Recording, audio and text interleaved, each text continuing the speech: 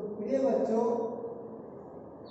हमने सिंधु घाटी सभ्यता पर कर दी थी सिंधु घाटी सभ्यता के बाद में आती है वैदिक सभ्यता। वैदिक सभ्यता। वैदिक सभ्यता बी ए पार्ट फैक्ट के अंतर्गत आती है। अब बी ए पार्ट फैक्ट के अंतर्गत सिंधु घाटी सभ्यता के बाद में जो सभ्यता विकसित हुई कोई वैदिक सभ्यता के बारे में आज हम अध्ययन करेंगे। और वैदिक सभ्यता में जो क्वेश्चन है, वो किस प्रकार का है? आर्य कौन थे? क्वेश्चन आर्य कौन थे? उनके उनके मूल निवास स्थान मूल निवास स्थान के विषय में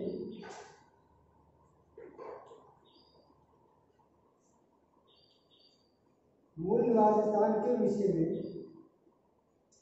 प्रचलित विभिन्न स्थानों की व्यवस्था की है प्रचलित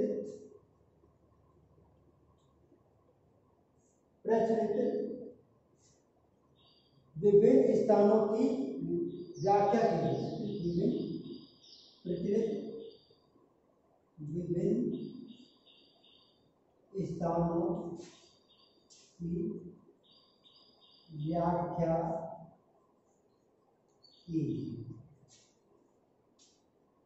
आपकी दृष्टि में कौन सा सिद्धांत अधिक तथ्य है? आपकी दृष्टि से कौन सा सिद्धांत अधिक तर्क संगत यानी कि क्वेश्चन जो आर्य थे, वैदिक सभ्यता का आर्य कौन थे? ये क्वेश्चन कई बार विवाद का प्रश्न बना हुआ है। अलग अलग इतिहासकारों ने इसकी अलग अलग व्याख्या की है और उनके मूल निवास स्थान, यानी कि कहाँ से आए थे? उनका मूल निवास स्थान क्या था? है? इसके बारे में इतिहासकारों ने विभिन्न स्थानों को ज्ञात है जो अलग अलग राय हैं। अब उनके बारे में आज हम यहाँ पर जो थे आर्य कौन थे और किस के बारे में हमें अधिकतर संगत कौन सा लगता है, कि कहाँ से आए थे, इसके बारे में आप अध्ययन करेंगे। तो सबसे पहले आर्य कौन थे साहित्यिक दृष्टि से आर्य शब्द का अर्थ साहित्यिक दृष्टि से। साहित्यिक दृष्टि से आर्य शब्द का अर्थ श्रेष्ठ। श्रेष्ठ अथवा उच्च वंशी होता है क्या होता है? अथवा उच्च वंशी साहित्यिक दृष्टि से। जबकि ऐतिहासिक दृष्टि से ऐतिहासिक ऐतिहासिक दृष्टि से आर्य शब्द का उस जाति से आर्य शब्द का अर्थ उस जाति से है जो आर्य भाषा का प्रयोग करते हैं। जो आर्य भाषा का प्रयोग करते थी आर्य भाषा का प्रयोग करती थी। आर्य कौन थे? इसके विषय में इतिहासकारों ने आज तक काफ़ी मतभेद इनके संबंध में विद्वानों ने अपने अपने विचार व्यक्त किए। भी क्षेत्र में कोई लिखित साक्ष्य उपलब्ध नहीं है, यद्यपि यह तथापि विद्वानों का यह विश्वास है कि आर्य लोग भारतीय ईरानियों तथा यूनानियों के पूर्वज।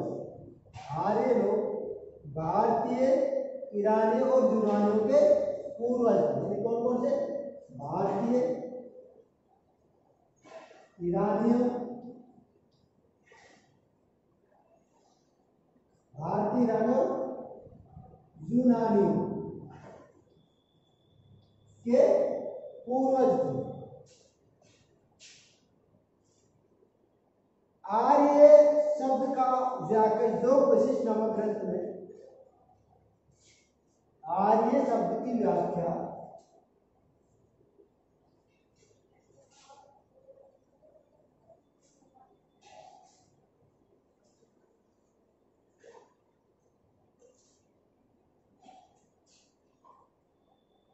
आर्य शब्द की व्याख्या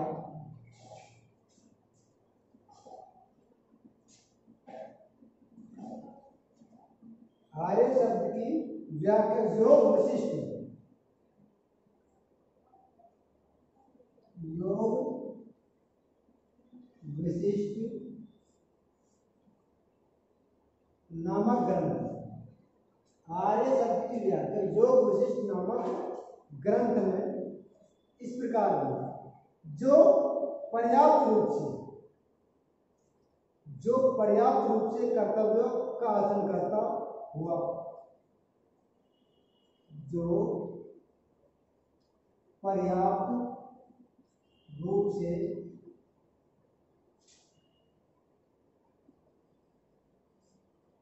जो पर्याप्त रूप से कर्तव्यों कर्तव्यों का पालन। कर्तव्यों का आचरण करता हो। पालन करता हो।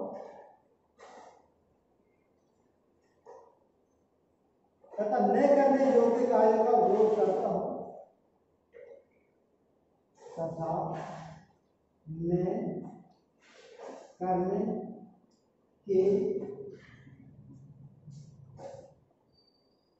कार्य का विरोध करता हो। अपने स्वभाव चरित्र से निष्ठा अपने स्वभाव चरित्र में निष्ठा रहता हो, अपने स्वभाव, स्वाभाविक चरित्र में निष्ठा रहता हो। वह आर्य है। वह आर्य है। इसी प्रकार जो इसी प्रकार जो इसी प्रकार जो आचार शास्त्र आचार आचार शास्त्र शुद्ध चित्त के अनुकूल, शुद्ध चित्त के अनुकूल यथा स्थिति व्यवहार यथा स्थिति व्यवहार करता है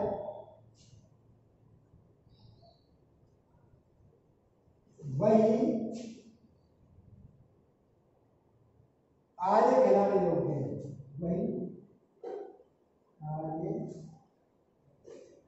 कहलाने योग्य यानी कि आर्य शब्द की जो व्याख्या योग वशिष्ठ नामक ग्रंथ क्या कहता है? नामक ग्रंथ क्या बताता है? कि जो पर्याप्त रूप से कर्तव्य का पालन या आचरण करता हो, आचरण करता हो, तथा न करने कार्य का विरोध करता हो। जो कार्य नहीं करने योग्य हो, बहुत सारे कार्य, गलत कार्य हमको पता होता है कि कार्य गलत है, और उस कार्य में जो करता है तो वो आर्य नहीं और उसका विरोध करता है तो आर्य है। अपने स्वभाव चरित्र की निष्ठा रखता हूँ। या अपने स्वभाव से, अच्छे विचारों को ग्रहण करता हूँ। वह आर्य। इसी प्रकार जो आचरण शास्त्र आचार शास्त्र शुद्ध चित्त के अनुरूप यथा स्थिति में व्यवहार करता है, वही आगे खेलाने योग्य ये हमें जो विशिष्ट नामक ग्रंथ से हमें इसका उल्लेख मिलता है। विद्वानों का यह विश्वास है कि आर्य लोग शारीरिक दृष्टि से लंबे विद्वानों का यह मानना है कि ये लोग शारीरिक दृष्टि से लंबे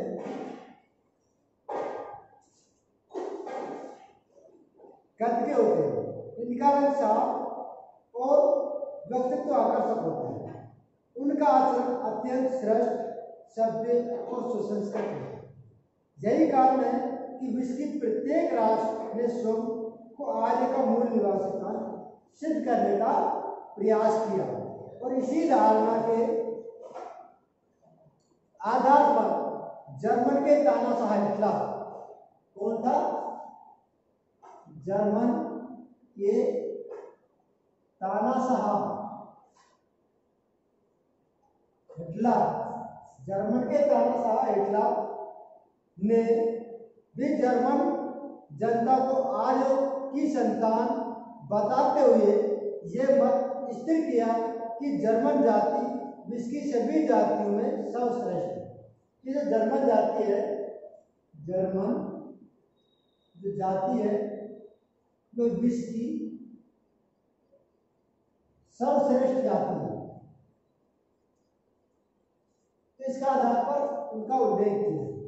इसी प्रकार आज हम उत्पत्ति के प्रचंड पर विद्वान एकमत नहीं है।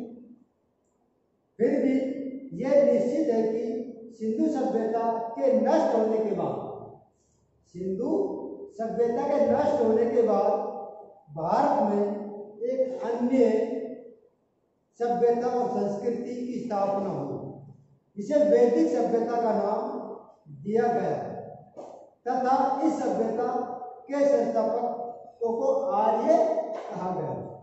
आर्य का मूल निवास स्थान। यानी आज का मूल निवास स्थान के बारे में इतिहासकारों में काफ़ी मतभेद रहा है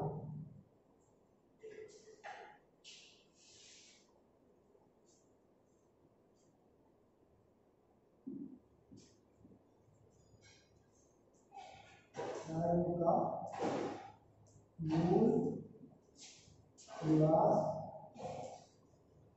स्थान आर्यों के मूल निवास स्थान के बारे में इतिहासकारों में काफ़ी मतभेद रहा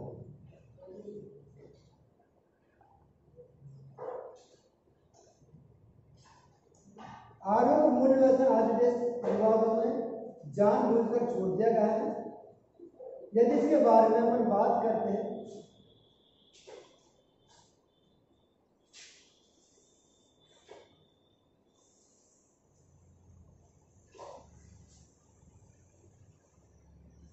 उत्तरी ध्रुव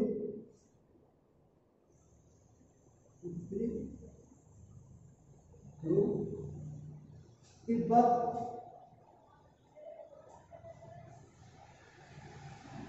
भारत एशिया और यूरोप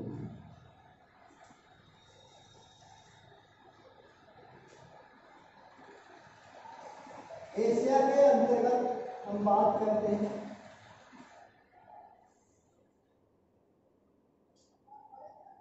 मध्य एशिया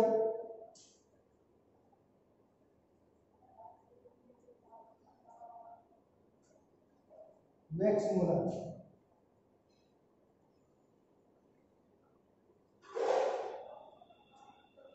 बैक्टीरिया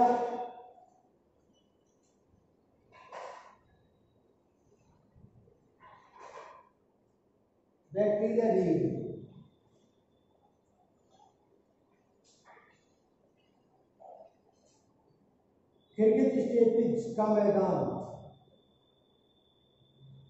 किर्गिज स्टेपिज का मैदान।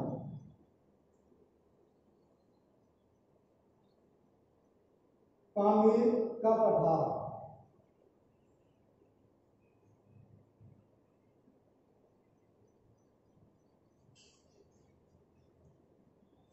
रूसी तुर्किस्तान रूसी तुर्किस्तान अमेरिका पठार को मेयर ने माना है तुर्किस्तान हेज बिल्ड ने माना है।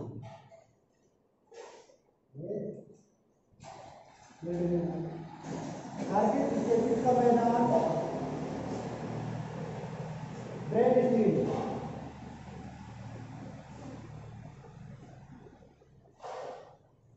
इसी प्रकार भारत में अपन बात करते भारत में तो भारत में भी कई लोगों ने कौन सा जैसे कि भारत के अंतर्गत मध्य प्रदेश मध्य प्रदेश इसके अलावा ब्रह्मसी देश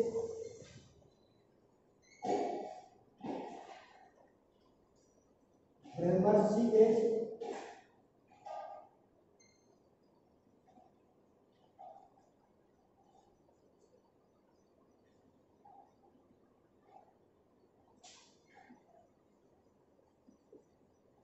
ब्रह्मर्षि देश अगला है कश्मीर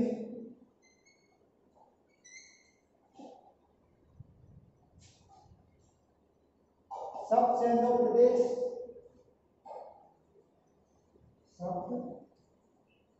सेंद्र प्रदेश और देविकानंद प्रदेश। देविका नंद प्रदेश। मध्य प्रदेश को राजबली पांडे ने है। बनी राजबली पांडे ने माना ब्रह्मर्षि देश को गंगानाथ जहाँ। गंगा नाथ जहाँ। कश्मीर को A B Kalla A B कल्ला ने माना है। सब सेंट्रल प्रदेश को संपूर्णानंद ने माना है। संपूर्ण नंद ने माना है। और देवी का नंद को दी है त्रिदेवी। त्रिदेवी। त्रिदेवी। एस एस त्रिदेवी ने माना। है इसी प्रकार यूरोप को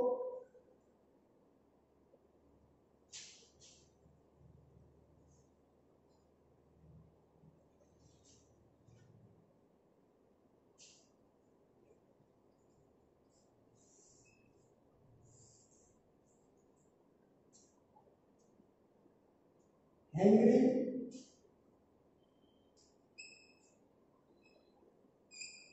जर्मनी। दक्षिण रूस और एक और है पश्चिम बाल्टिक समुद्र तट पश्चिम बाल्टिक समुद्र तट हेंगरी को मानने वाला है गाइड्स जर्मनी को मानने वाला है फेंका दक्षिण रूस को मानने वाला नेहरी